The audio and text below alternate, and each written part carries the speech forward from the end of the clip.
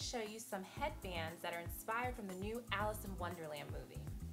The first one I'm going to show you is this really cute big black satin bow headband. As you can see, it is a huge bow and it's just really cute. It makes a really great statements. Not too over the top, but just enough to get you noticed. Really, really cute.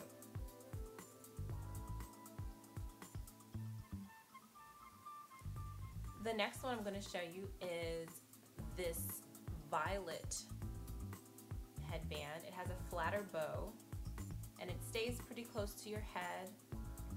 This hairband not only reminds me of Alice in Wonderland, but it also reminds me of Gossip Girl.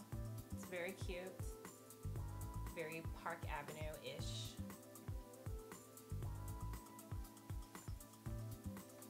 The next headband is this flower petal design black headband and as you can see it has some detailing, some diamond detailing in the center that goes around in a circle.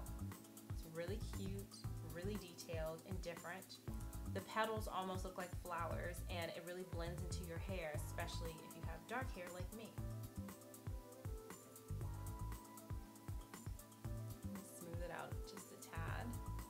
And the next headband is this vibrant orange it also has a flat bow just like the purple one, but the bow on this one is a little slimmer.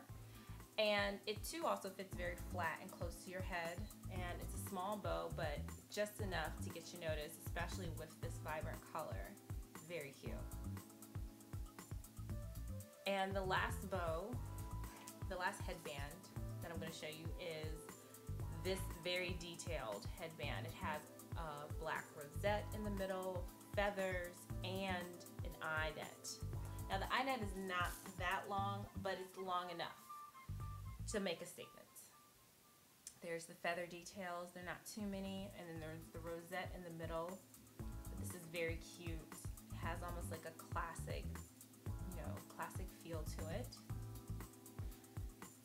And I'm actually getting ready to go check out the new Alice in Wonderland movie, so I am going to wear the first bow that I showed you. I just think this is the epitome of Alice in Wonderland and it's very chic.